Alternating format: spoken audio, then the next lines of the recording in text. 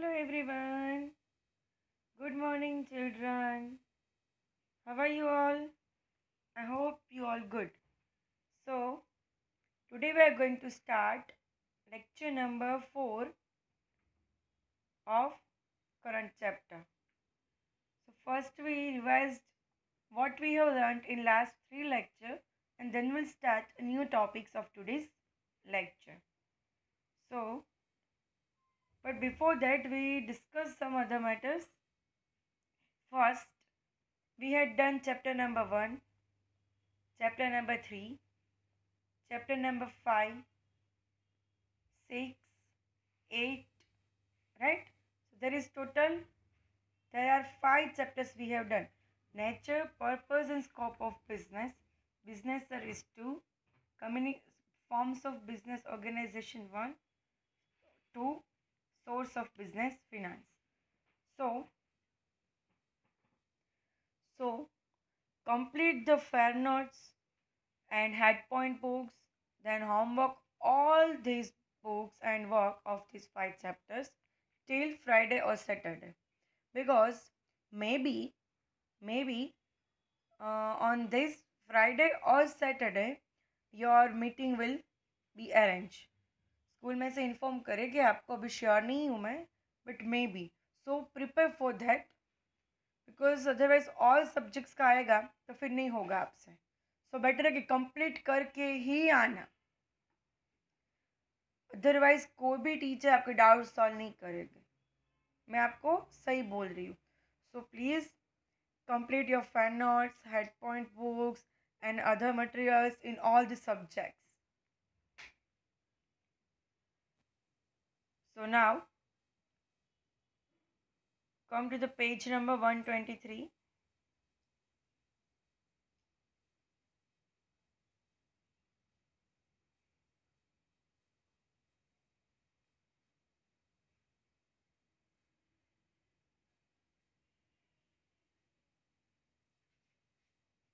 Yes, chapter 11. So, in first three lecture of this chapter, we have done introduction then concept of social responsibilities then definition of social responsibilities and responsibility towards the different stakeholders like internal stakeholder and external stakeholders. Owners investor and employer are the internal whereas in external customer supplier government and society. So first we have done what is internal stakeholder so group which are associated directly with the management and a part of our business that is internal. And the group which is indirectly connected with management and are not a part of business unit that is external. Then social responsibilities towards the owner so, which type of responsibilities of business towards the owner? So, we had already done this topic in last lecture, like uh, participation in decision making process, capital securities and growth, protecting interest of the owners, then priority for the development. So, these four responsibilities is the main responsibilities of business towards the owner. And these are the kind of reasons for the social responsibilities of company.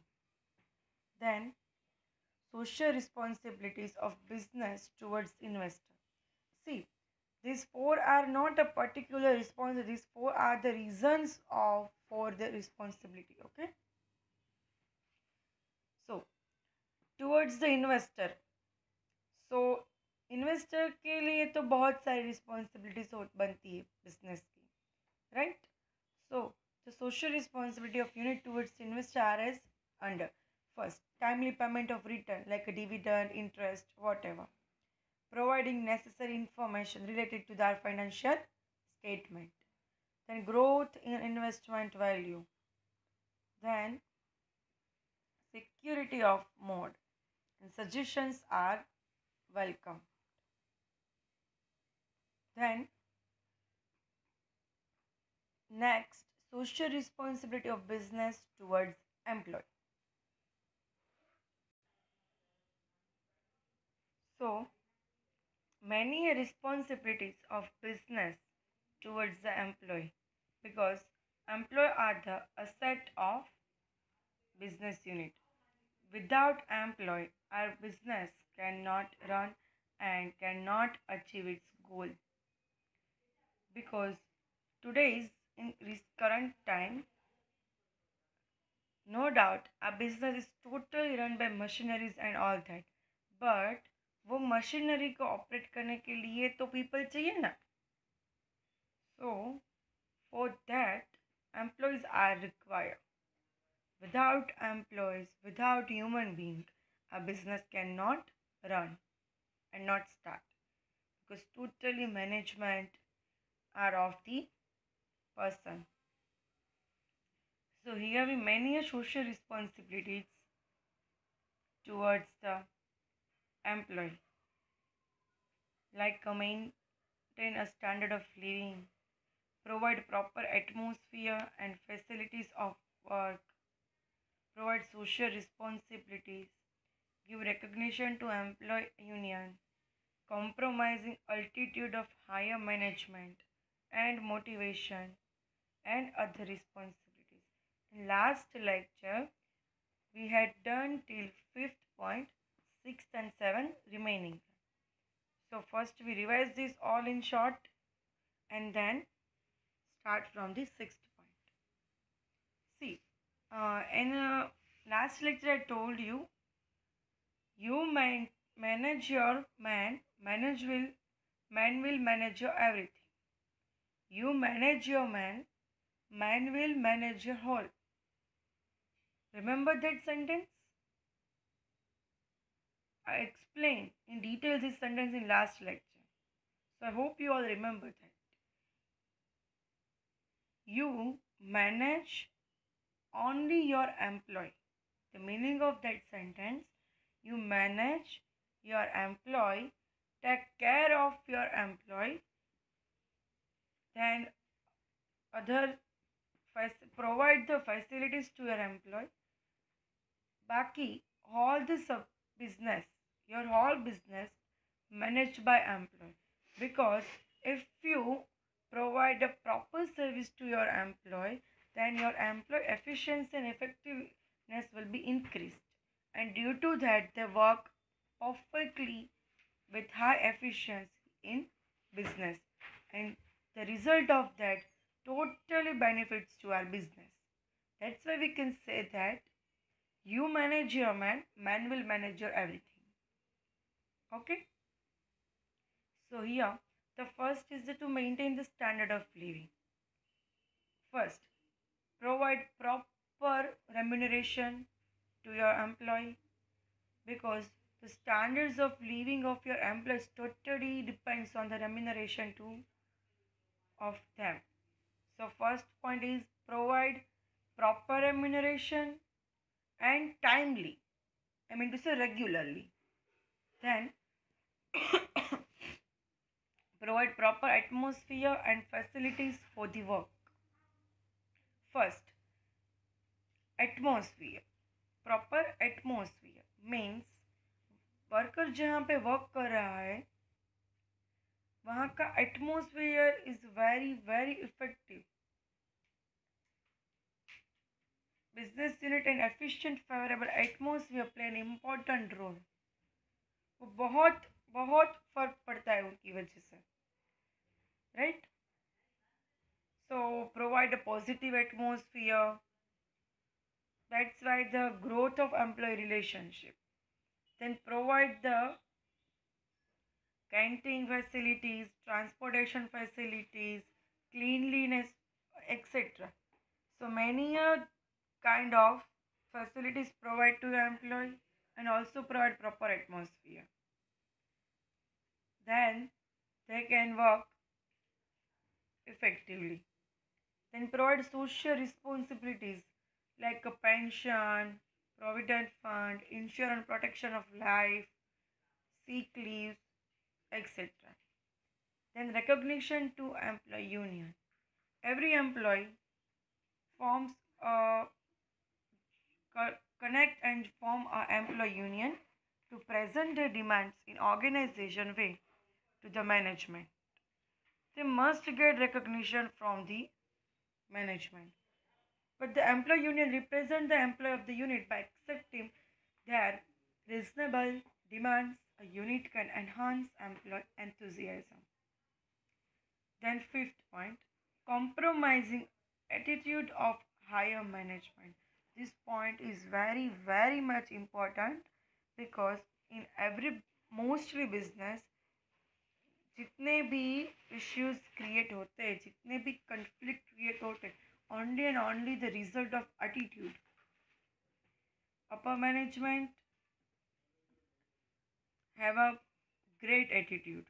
And behave like a boss with employee. And that's why the relationship between the top management and workers are not well.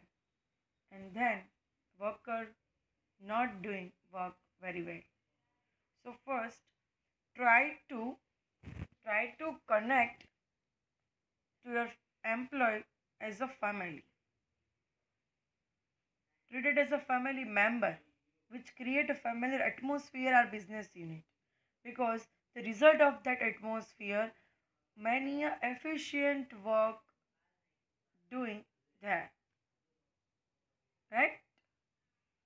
Then motivation. So at every time a period like uh, every monthly six monthly the quarterly. Employee needs some appreciation, motivation. कि उनको आपको appreciate करना है motivation देना है, जिनकी वजह से वो लोग जो भी काम कर रहे हैं, जो भी स्टेज पे वर्क कर रहे हैं, उसमें उनकी एफिशिएंसी और इफेक्टिवनेस इंक्रीज हो। And that's why the work और ज़्यादा हो। और अच्छे से हो। क्वालिटी एंड क्वान्टिटी बहुत are increase due to the motivation so you can buy the hours of your employ but have to win their abilities you can pay remuneration to employ for the working hours that is you can buy your buy the hours of your employ but you have to win the abilities because they have a great great capabilities abilities बहुत सारा उसमें है but उनको आपको कैसे win करना है it's depend on you that is business unit business owner, top management. So, any unit cannot survive without constant encouragement of employee enthusiasm. Therefore, to motivate the enthusiasm of employee, unit have to give incremental promotion, rewards, etc. And that through it, employees' morale get boosted. For example, honor of the company encourage the employee by going on tour with the employee and their family. Employee awarded for advanced research or new work technique, etc. Okay, is it clear? Good. Point number seven other responsibilities. Like employees participation in decision of unit many a time time suggestions of employees are very good for our business unit. That's why you give a chance to employee participate in decision making. Arrangement to get informed the employee about the decision and important information condition of the task to be decided before appointment. Unit have to manage responsibilities such as look after the arrangement of education of employees children and arrange the planning the timings for the same family of employee. Okay clear? The last point is very easy not that much like explanations. So here we done this topic the social responsibility of business towards the employee so there are seven types like maintain standard of living of employee provide proper atmosphere and facilities for the work, provide social responsibilities, give recognition to employee union, then compromising attitude of the higher management, motivation, other responsibilities. Okay, done. So next topic, social responsibilities of business towards customer We moving on this topic, but before that, to just read these seven points and underline the important points in hard words in detailed information, and then we'll start the social responsibility of business towards the customer. For these seven points, you have one and a half minute only. That is 90 seconds. Okay, done. फटाफट कीजिए चलो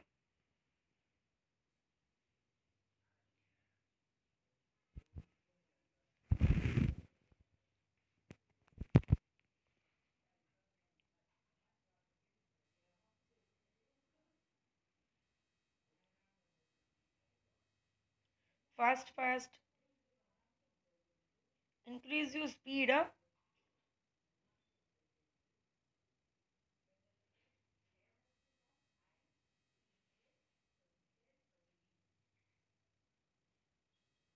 okay done. Okay. So come to the 11.2.4 social responsibility of business towards customer. So customer is an external stakeholder which are indirectly connect to the management. Customer is a very very important part of our business but the indirectly not a direct connect with her with us right?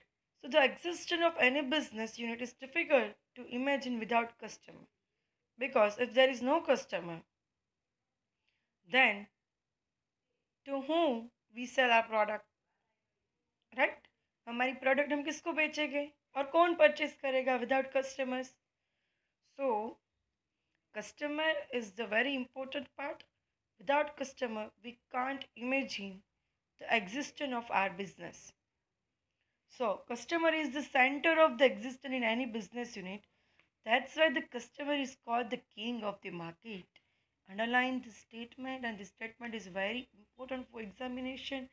In examination 2 to 3 marks ask like a, a customer is called the king of market statement this Ex- explain this statement.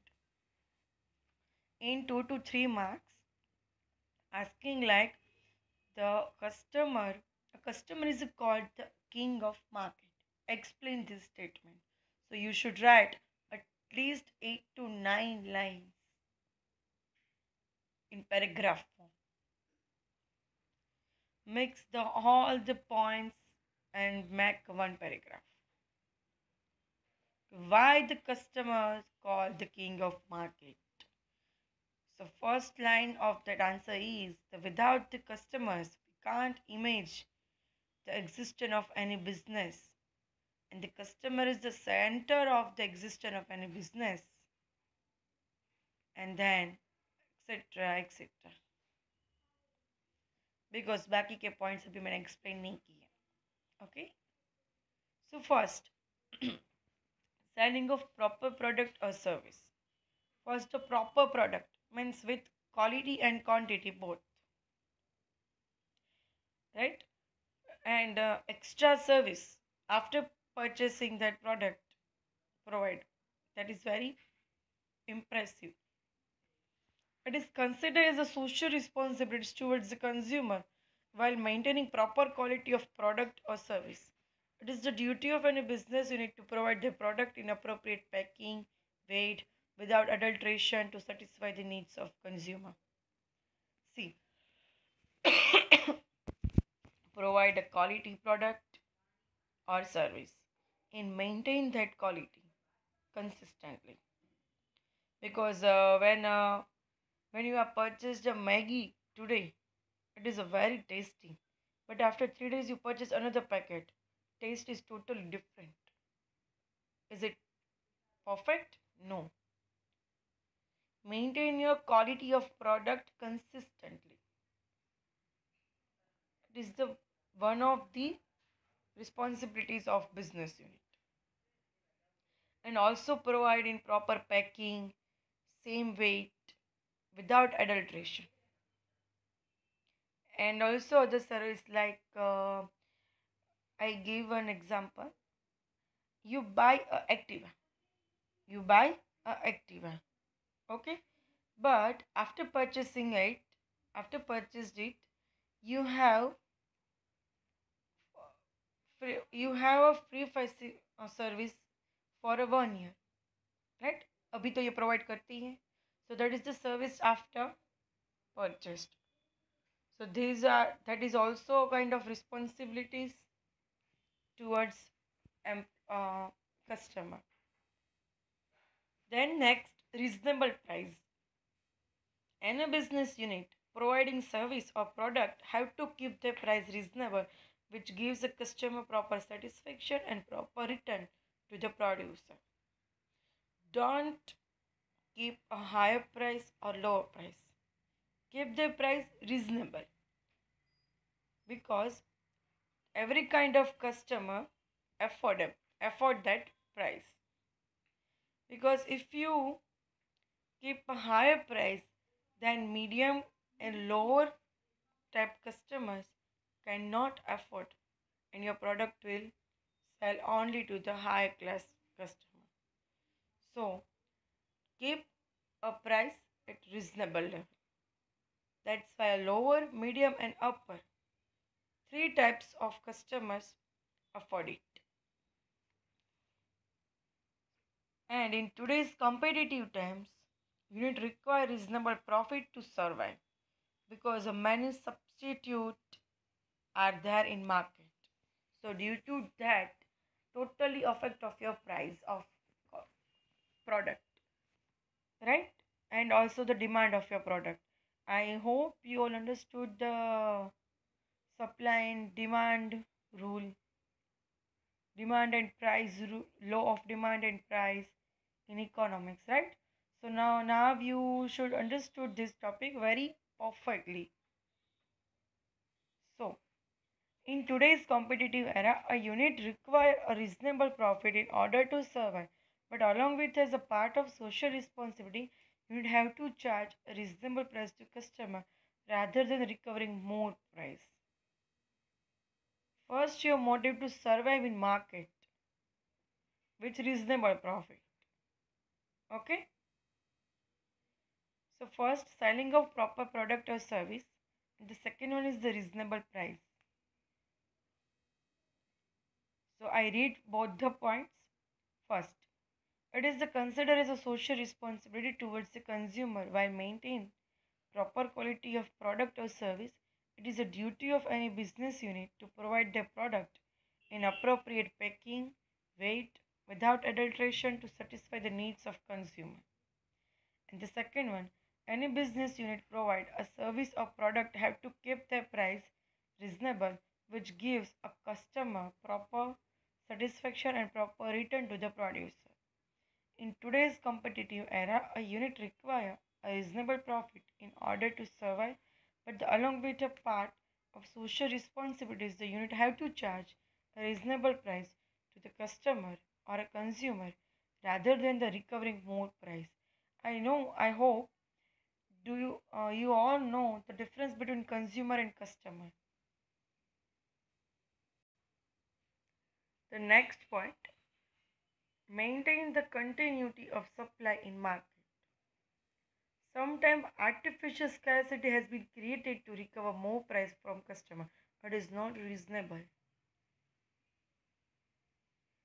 It has to cheat you cheat your customer for your benefit.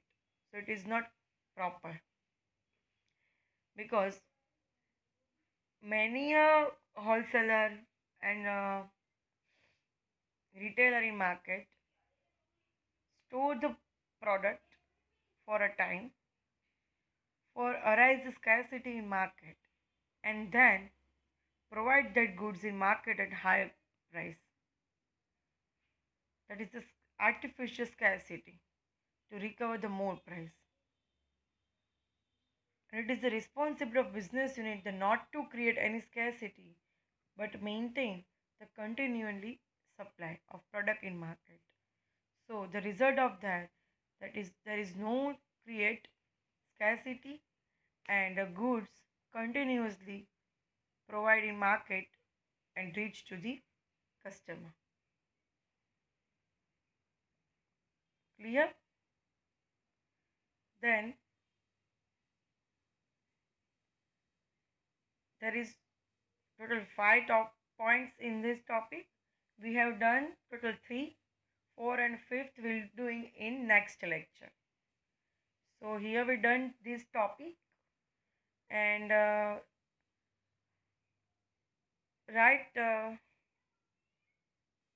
this point head points of this topic in head point book only and note down the today's homework. So in today's homework see only write the head point of this topic in head point book और कोई homework नहीं है because you should complete your fab book see I give you a time for three two four days because मैंने बोला ना be on Friday Saturday your meeting will be arrange in school so please complete your fair book because at the time of meeting you you will come with your book and other assignments in all subjects. Okay? So till friday saturday i don't give your homework extra homework. So utilize this time and complete your fair notes for all the subjects not for the oc okay? Not only for the oc but for the of all the subjects book you should complete so here we done this and next two uh, remaining two points of this topic will done will be done in next lecture. So here we done today's lecture also. Okay? So goodbye everyone. So we'll meet in next lecture with new topic. Okay goodbye